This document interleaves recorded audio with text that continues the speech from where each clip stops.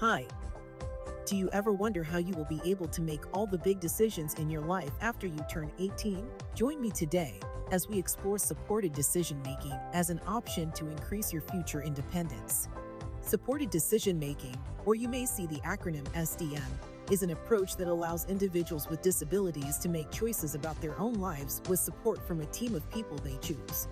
Instead of having a guardian make decisions for them, individuals under SDM select people they know and trust to be part of a support network or group to help with their decision making. This approach can improve the self determination, independence, and dignity for individuals with disabilities because they have the ability to rely on themselves for their decision making and choices. In supported decision making, individuals with disabilities will ask for the support of family members, friends, or other trusted individuals to help them make or communicate decisions. These supporters help the person with a disability in gathering information, researching and understanding options, and making informed decisions that are right for the individual with a disability. The level of support can vary depending on the individual's needs and preferences, and the support network can be flexible and change over time. The people involved in supported decision making are selected by the individual with a disability. They can be family members, friends, coworkers, or past or present providers who know and respect the individual's will and preferences. There are many different ways to identify and select the right supporters.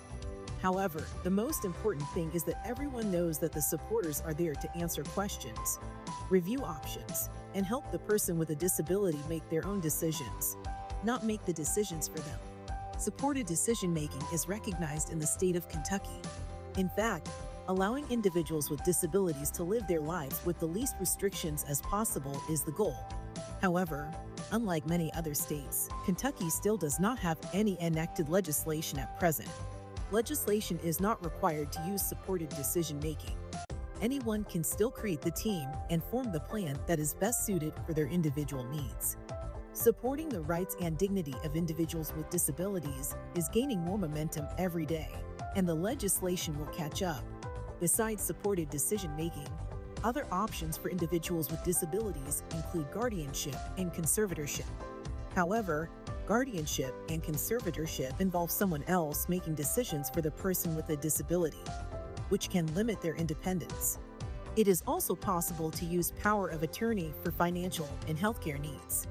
A power of attorney is a legal document where you grant someone the authority to act on your behalf. Whatever you decide to do, it is important to consider the individual's specific needs and circumstances when exploring the different options. Deciding if supported decision making is right for you involves considering your own preferences, needs, and goals.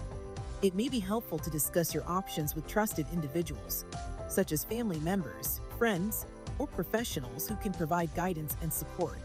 Using resources like this workbook from the ACLU to determine exactly how much support and assistance you will need is a necessary first step. Ultimately, the choice of whether to pursue supported decision making is a personal one that should work with your values and aspirations for self determination and independence. But do not make this decision lightly. Talk to the same trusted family members and friends before you make the decision. There are several resources available in Kentucky that can help you determine if supported decision making is the right choice for you. Thank you for watching today.